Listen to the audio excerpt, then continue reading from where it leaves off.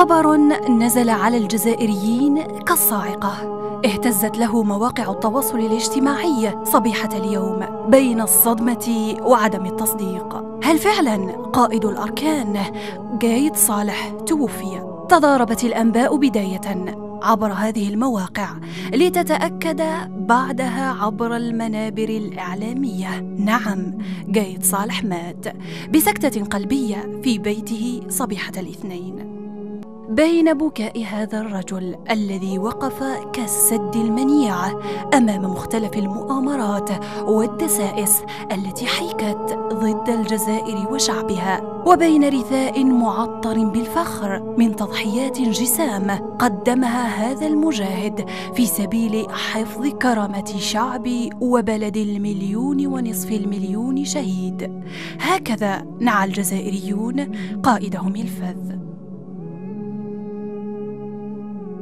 وزراء في الحكومة نعوا القائد الراحل عبر تغريدات تعدد خسارة الجزائر لهذا الرجل الأيقونة في تاريخها كرئيس المجلس الشعبي الوطني سليمان شنين ووزير الشباب والرياضة سليم برناوي. رؤساء دول وسفراء بالجزائر بدورهم سارعوا إلى تعزية الشعب الجزائري في مصابهم الجلل عبر هذه المواقع.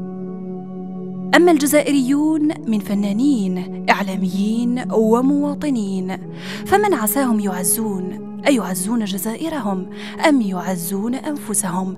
في فقدان من وعد ووفى بإيصال الجزائريين بعد حراكهم الأسطوري إلى بر الأمان. وأنا حلفت وقسمت. مع قادة النواحي وقادة القوات ما كاينش ياخذ الدماء. هي أمانة حفظتها وشاءت الأقدار أن تكرم لصونك إياها اياما قليلة قبل أن توافيك المنية لتسديها في أعناق رجال عاهدوك قويا صنديدا وسيحملون مشعل رفع الراية وحفظها بعدك.